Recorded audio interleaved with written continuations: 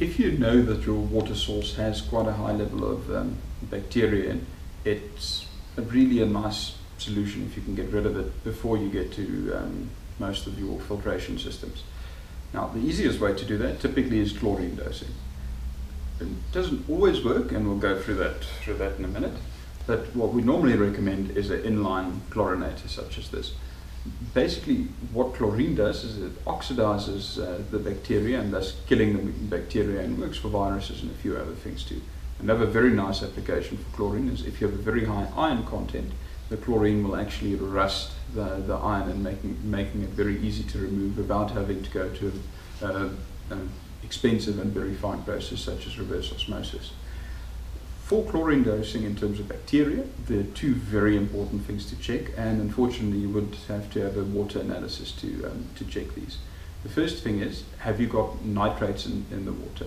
For every 1 ppm of nitrate in the water, the chlorine will bond one part chlorine to that nitrate. So if you have, say, five nitrates in the water and you want one ppm of chlorine, you'll have to dose six ppm of, of chlorine to be able to get that one ppm of free chlorine, which unfortunately would probably make chlorine dosing not really effective simply because it becomes too expensive because you're going to go through the chlorine cartridges really, really, really quickly.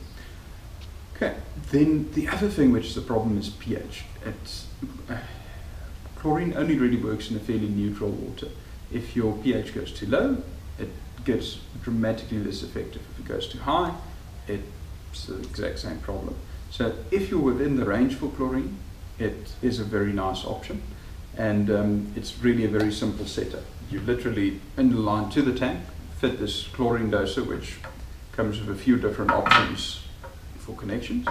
You fit the cartridge in and you simply turn this in for higher chlorine dosing, turn it out for a lower level of chlorine dosing. What you ideally want to do is have it for a JoJo tank because you do need a bit of contact time for chlorine. A good indication is um, you need to have at least a day's water supply sitting in the tank. Uh, so if you're using about a thousand liters a day, have an extra day's supply in the tank. So rather put something like a two and a half thousand liter JoJo tank in place. And then very importantly, where you would measure the chlorine is say you want three parts of chlorine in the water, measure it after the tank to make sure that you're dosing sufficiently um, that in the supply leaving the tank you still have chlorine pre- uh, present. Um, and yeah, that's basically how you would set it up. Very important though is we use specific chlorine for water treatment and don't just use um, pool chlorine. Um, some of the pool products contain all sorts of other additives, which is very nice for your pool, but not so nice for getting in your drinking water. So if you want to do chlorine dosing, there are other options on the market as well, but make sure you use something that is designed for water treatment and not something that is just designed for a swimming pool.